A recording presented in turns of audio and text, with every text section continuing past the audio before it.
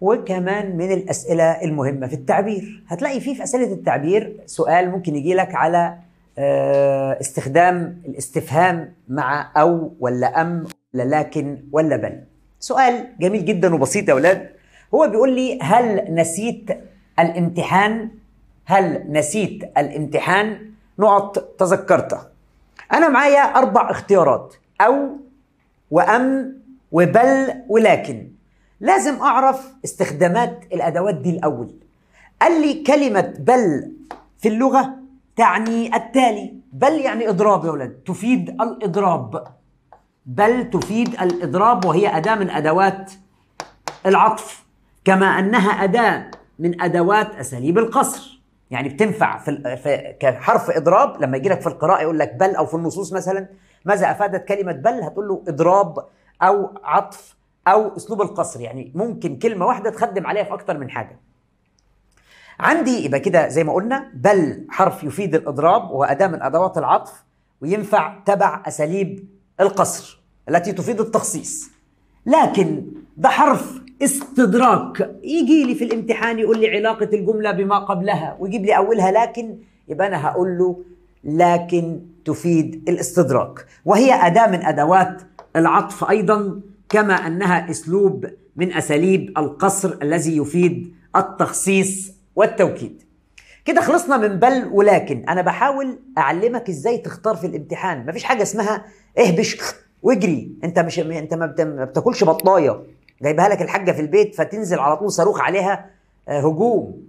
يعني يا أخي ده حتى آه، يعني لو أنت بتحب واحدة ورحت وفي الوش كده على طول بحبك كل شوية هتكرهك.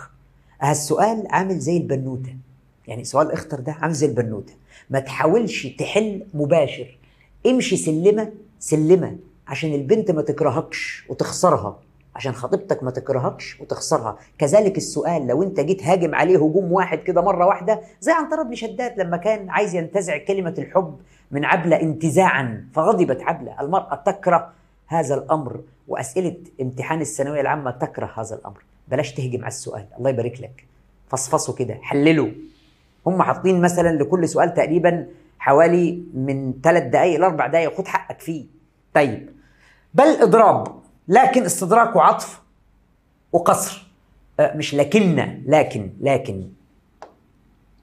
طيب أو ده حرف تخيير. حرف تخيير. هنا حرف تخيير. يعني بتختار ما بين حاجتين. طب هو بيقول لي هل نسيت الامتحان؟ نقط تذكرته دي عطف ما بين كلمة وكلمة. لو تلاحظ هنا عطف وهنا عطف. فما أقدرش لا أختار لا بل ولا لكن. ولو أنت استخدمتها بالطريقة العامية هتلاقيها مش ماشية أصلا. يعني هل نسيت الامتحان؟ بل تذكرته. لأن أنا بسألك. أنا ممكن أقول أنا نسيت الامتحان. المعلومة كالتالي. بتقول لك عند استخدام الاستفهام. بكلمة هل في اللغة العربية. يناسبها حرف التخيير. خد المعلومة دي جميلة جدا. يناسبها حرف التخيير أو. الله على دي. هدية ب 2 جنيه ونص. لما أسألك هل تقول لي أو. لما أسألك أ تقول لي أم. يبقى أنا لما أجي أختار دلوقتي أنا عندي الاستفهام بإيه؟ بهل. يبقى لما أجي أختار أختار أداة تخيير تناسب الاستفهام بتاع هل. هل يناسبها أو يبقى أنا هختار كلمة ها أو وأقول هنا أو تذكرتها. هتقول لي لا مش ماشية.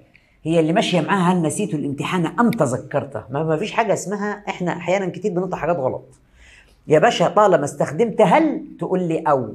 أما إمتى استخدم أم قال لي أستخدم أم مع الاستفهام آ. طب ما تديني دليل. خد الدليل ده عندك. يقول أحمد بك شوقي. نقولها تاني أنا هختار أو. تعال نشوف أحمد شوقي بيقول إيه كده في بيت الشعر بتاعه.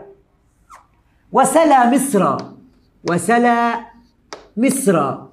هل سلا القلب عنها؟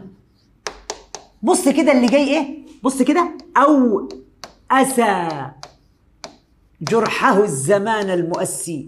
الله على البيت ده. شوف أحمد بك شوقي راجل بسم الله ما شاء الله. لما استخدم هل استخدم أو. شفت أهو يا ولد؟ هل أو. لو قال أم لا أصبحت معابة على أحمد شوقي. هنروح بعيد ليه؟ قوله تعالى أأنتم أنزلتموه من المزن أم نحن المنزلون؟ قال تعالى قال تعالى أأنتم؟ أنزلتموه من المزن. المزن طبعا السحابة يا ولد أم نحن المنزلون؟ بص جمال القرآن يا ولد تخيل لا قدر الله.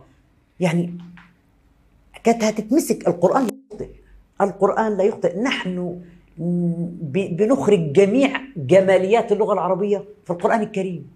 هنا استخدم الله سبحانه وتعالى أداة الاستفهام آ. يناسبها أم. نرجع كده يا أولاد. نرجع كده للكلام ده. يبقى هل يناسبها أو. آ يناسبها أم. دي أسئلة تعبير مهمة جدا. أسئلة تعبير. فهنا بيقول لي هل نسيت الامتحان؟ يبقى اختار كلمة أو لأن أنا سألت بهل. أما أم يناسبها حرف التخيير آه, آه